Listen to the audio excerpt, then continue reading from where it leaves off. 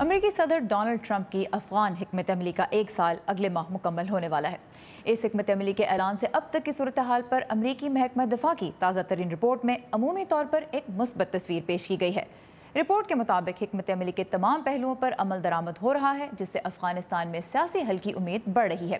افغان فوج کی تربیت اور مدد کے نتیجے میں تمام صوبوں کے دارالحکومت کابل کے کنٹرول میں ہے لیکن حکومت کا کنٹرول اب بھی پینسٹھ فیصد آبادی پر ہے، جبکہ بارہ فیصد طالبان کے زیر قبضہ علاقوں میں رہ رہے ہیں اور باقی علاقوں میں حکومت اور طالبان کے درمیان لڑائی جاری ہے۔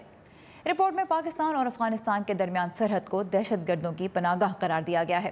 انسداد دہشت گردی کے لیے پاکستان کی کوششوں کا ذکر کرنے کے ساتھ ساتھ یہ بھی کہا گیا ہے کہ طالبان کو پاکستان، روس اور ایران سے مدد مل رہی ہے۔ محکمہ دفاع نے امریکی قانون سازوں پر بھی زور دیا ہے کہ وہ افغان فوج کی مدد کی طویل مدتی کوششیں جاری رکھنا یقینی بنائیں۔ پاکستان طالبان کی کسی بھی قسم کی مدد کی تردید کرتا ہے۔ دوسری جانب افغان سفیر عمر زخیلوال نے آج پاکستان آرمی کے سربراہ جنرل قمر جاوید باجوہ سے اسلام آباد میں ملاقات کی۔ وائس آف امریکہ کے نمائندہ ایاز گل اس وقت اسلام آباد سے ہمارے ساتھ ہیں۔ ایاز، یہ بتائیے گا کہ اس ملاقات کی کیا تفصیلات اب تک سامنے آئی ہیں؟ اس میں دیکھیں، بنیادی طور پہ جو دونوں ملکوں کے درمیان حال ہی میں ایک معاہدہ طے پایا ہے، جس کے تحت انٹیلیجنس اور ملٹری کوآپریشن اور دوسرے امور پر قریبی تعاون کو یقینی بنانے کے کا اعادہ کیا گیا ہے۔ وہ معاہدہ زیر بحث آیا ہے اور یہ ملاقات اس لیے بھی اہم تھی آج جو ہوئی ہے، کیونکہ ایک روز قبل ہی جو امریکی سینئر اسٹیٹ ڈپارٹمنٹ ڈپلومیٹ ہیں ایلنس ویلز انہوں نے بھی آرمی چیف سے ملاقات کی ہے۔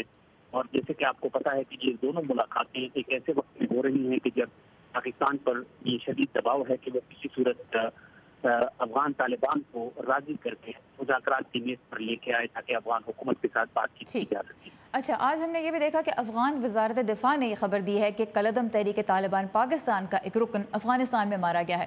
اس کے بارے میں کیا معلومات سامنے آئی ہیں؟